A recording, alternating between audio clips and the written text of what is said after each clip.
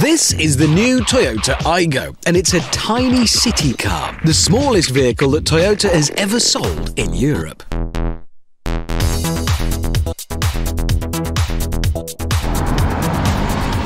truth, that's not very interesting. But then neither are Toyota cars. In the main, people buy them because they never break down. But we think the Aygo is interesting. Firstly, it looks great, kind of young and cute. Secondly, it's cheap. It costs just £7,000. Now, you might think we're just into solid gold Lamborghinis and Ferraris with jet engines, and you'd be right. But we do love cheap cars, especially clever cheap cars. Let me explain. Some cars are designed and then built cheaply. The Aygo was designed to be cheap from the start. It's in its genes. Look at this. In most hatchbacks, the hatch is a piece of metal and glass.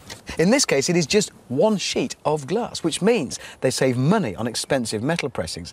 And it only needs one gas strut to hold it up. And there's even just one piece of string to hold up the parcel shelf. It all adds up. And look inside. Just simple painted metal and no extra fripperies like dual controls for the windows on the driver's side. In most cars as well, the seats are different for passenger and driver.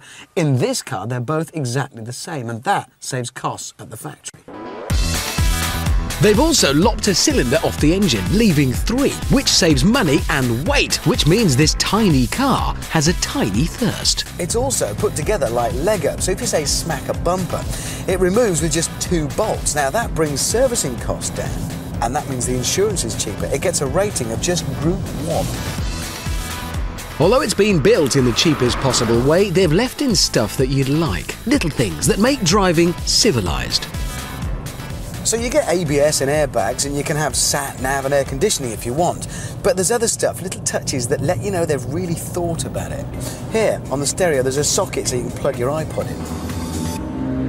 So we like the cut of its jib. Can we talk about the car? Yes. I think this actually is a great little car. It is. I really do. But it isn't quite as simple as that because you see, this is a very small Peugeot, and this over here is an equally small Citroën. Now, don't be fooled by the fact that they've all got slightly different faces. They are, in fact, the same car underneath. They're built in the same factory, they're built by the same people, and they've all got the same engine. But it's not as simple as that either, because the Toyota and the Peugeot both cost £7,000.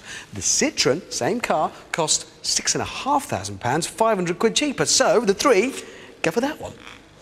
Okay, it's time.